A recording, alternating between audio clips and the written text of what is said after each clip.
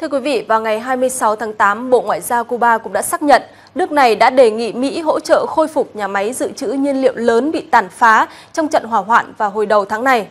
Theo Bộ Ngoại giao Cuba, yêu cầu trên được đưa ra trong cuộc họp trực tuyến vào hôm ngày 24 tháng 8 giữa các chuyên gia hai nước nhằm tìm hiểu những cách thức hợp tác khả thi để khôi phục các khu vực bị ảnh hưởng nặng nề nhất. Trước đó, Washington cũng đã đưa ra những vấn đề về kỹ thuật với La Habana, Tuy nhiên, các chuyên gia của Cuba thừa nhận có kinh nghiệm hạn chế trong công tác đối phó với những tình huống hỏa hoạn trong lĩnh vực này.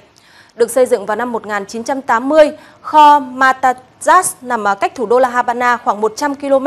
được coi là nền tảng cho hoạt động hậu cần nhiên liệu của Cuba. Vụ hỏa hoạn bùng phát vào hôm ngày 5 tháng 8 cũng đã tàn phá 4 trong số 8 bể chứa tại kho nhiên liệu này, đồng thời khiến cho 132 người bị thương và 16 lính cứu hỏa thiệt mạng.